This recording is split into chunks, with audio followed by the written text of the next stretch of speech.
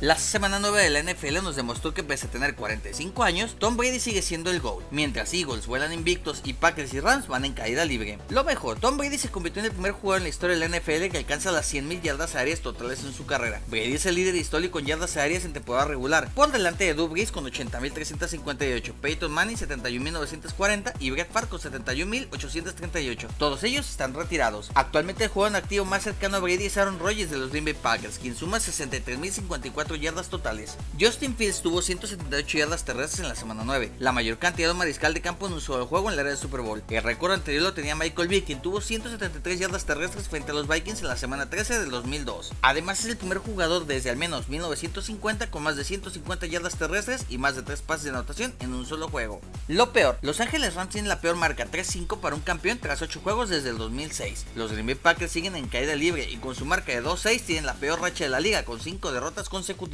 Lo curioso, Philadelphia Eagles tiene marca de 8-0 por primera vez en la historia de la franquicia. Son el equipo número 29 en la era del Super Bowl en comenzar 8-0. Los 28 equipos anteriores han llegado a los playoffs, 15 han ganado su conferencia y 8 han ganado el Super Bowl.